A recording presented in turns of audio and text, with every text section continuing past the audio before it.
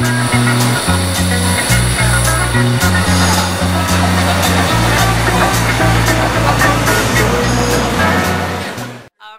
Ripon, Wisconsin, a Midwest girl through and through. I'm Amanda Heimbaugh. The song I chose is Rainbow Connection by, I say originally, Kermit the Frog. Um, the reason why I chose the song was it was my parents' wedding song, and they've been singing it to me like through my whole life growing up. And then I kind of forgot about it, but then I recently discovered it again this year, and it's like been my favorite song. And I think I sing it in the hallways at my school all the time. And now I got like a band of 20 other kids who are singing it with me. So I don't know, it's just like a song that every time I sing it, I get the smile that you're seeing right now. So it's my favorite song.